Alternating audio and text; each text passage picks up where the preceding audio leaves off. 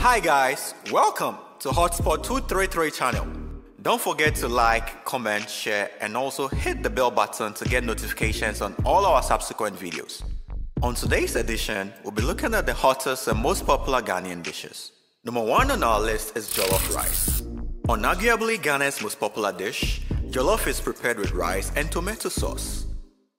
Mostly served with egg, meat or fish, jollof features prominently on most Ghanaian restaurant menus. The long-standing Ghana-Niger Jollof War, the international jollof competition, and the annual World Jollof Day celebration have skyrocketed this delicious meal's popularity.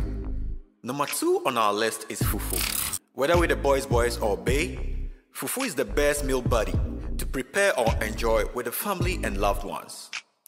Unarguably one of the most pervasive meal in most Ghanaian homes, fufu can be enjoyed with different kinds of soup. Whether with light soup, aka pepper soup, groundnut soup, palm nut soup, and so on. Fufu is a Twi term which means mix or mash. You can enjoy your favorite fufu at a local chop bar or restaurant near you. Number 3 on our list for this edition is waakye. Waakye is another popular rice dish in Ghana. One might argue that there are as many local waakye joints as there are restaurants in Ghana. Traditionally packaged and served in plantain leaves, waakye sellers are now packaging and selling the meal in takeaway packs, as well as glass jars. Interesting, right? Waakye can be eaten with shito or stew, gari, meat, egg, or fish, as well as fried plantain. Number 4 on our list is banku and tilapia. Considered by some as a meal shared mostly by friends and lovers, banku and grilled tilapia is a popular Ghanaian delicacy.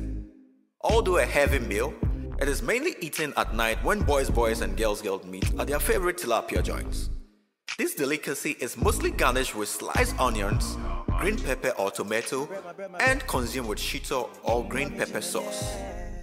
Number 5 is the almighty kenkey and fish. Originally a staple food of the Ga people, and some other tribes located along the coastal belt of Ghana, kenkey and fish is one of the most common foods one will see around.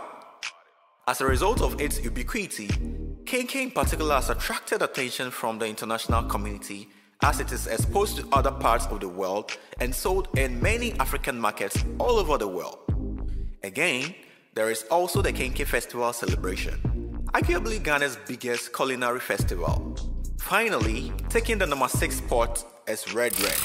Perhaps the meal with the most satiety value, gari and beans with fried plantain, popularly known as Red Red because of the palm oil used in preparation. Gobe or Yoke Gari is sold on most streets in Ghana.